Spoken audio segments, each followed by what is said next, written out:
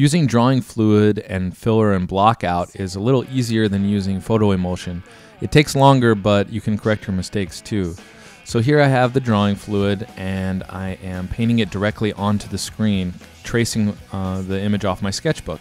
I have a piece of acetate between the sketchbook and the screen so none of the drawing fluid gets on there. But it's really easy, pretty self-explanatory. It gives you this painterly look to the screen, uh, like a hand-done screen print which is kind of cool. Here I've got my image copied, and now I'm going to block it out. I use the block out and screen filler for this.